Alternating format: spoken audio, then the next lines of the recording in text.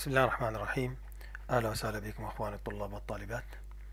كلنا وصلنا إلى الوحدة الخامسة من هذا الكتاب وهي بعنوان Problem Solution Essays. المقالات التي تطرح مشكلة وتقدم حلول لهذه المشكلة. واضح يعني من العنوان أنك سوف تتحدث عن مشكلة ثم تطرح حلولا لها. طيب نبدأ القراءة والتعليق بشكل مفصل. نقول بسم الله What is a problem solution essay?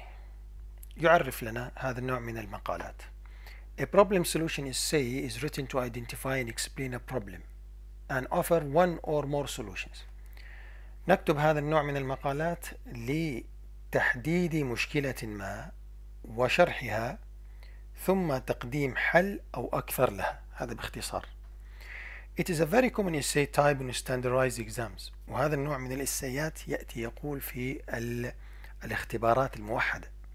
And in classroom assignments.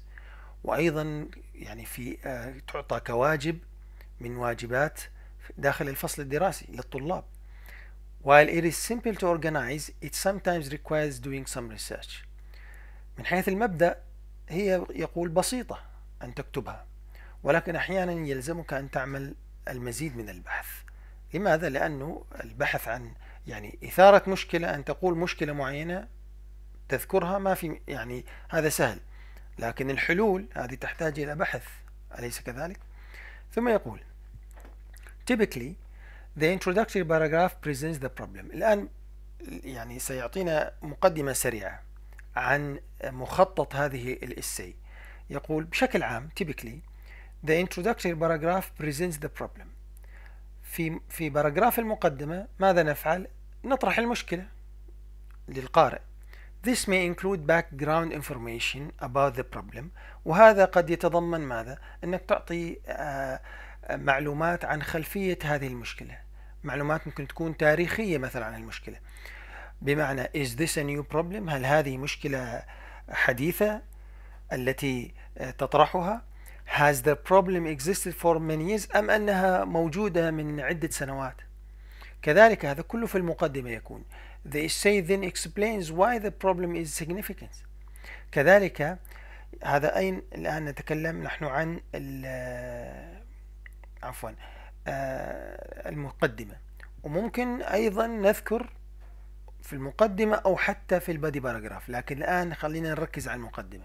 لأنه بعد شوي حتشوف في أنماط مختلفة من طريقة كتابة ال problem solution essay ما عندنا نموذج واحد عندنا عدة نماذج. بعد قليل يأتي بالتفصيل.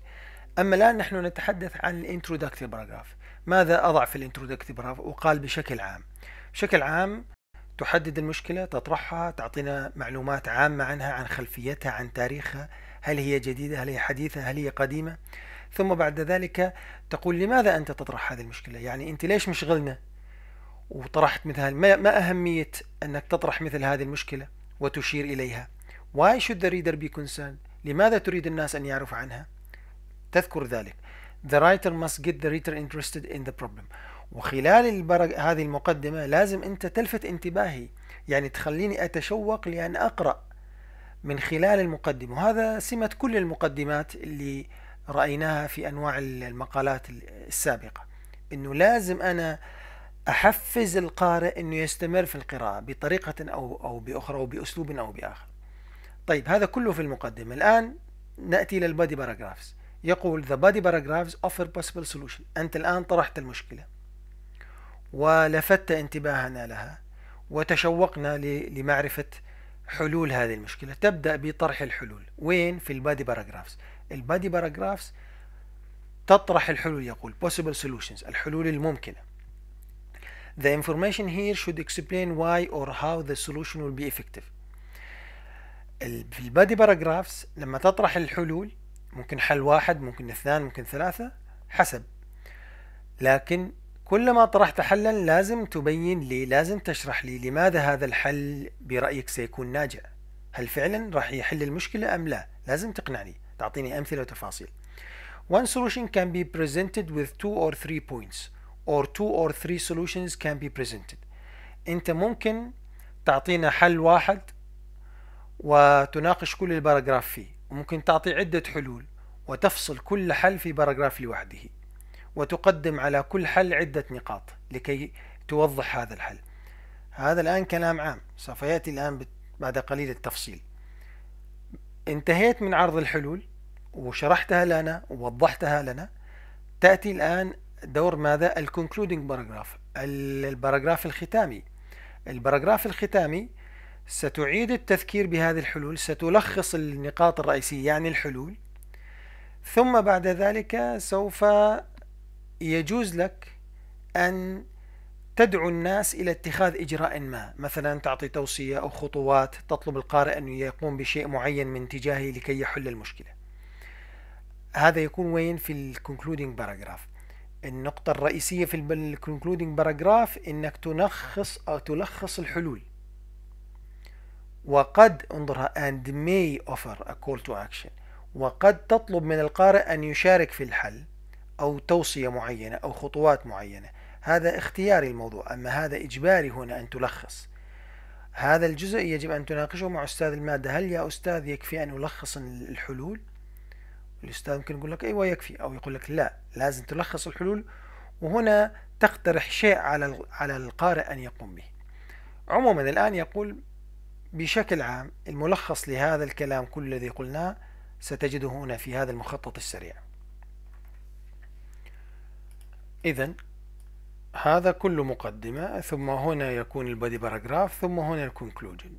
المقدمة تطرح المشكلة وتعرف بها تعطي معلومات تاريخية إلى آخره ثم بعد ذلك يكون في البادي باراجراف هي الحلول حل أو أكثر ثم التلخيص النقاط الرئيسية يعني الحلول وتشجيع القارئ على ممارسة دوره في حل هذه القضية. هذا بشكل عام. الآن سندخل في التفاصيل بعد قليل. يقول هنا. Choosing a topic. In a problem solution is say the writer might choose a topic for which there are many solutions.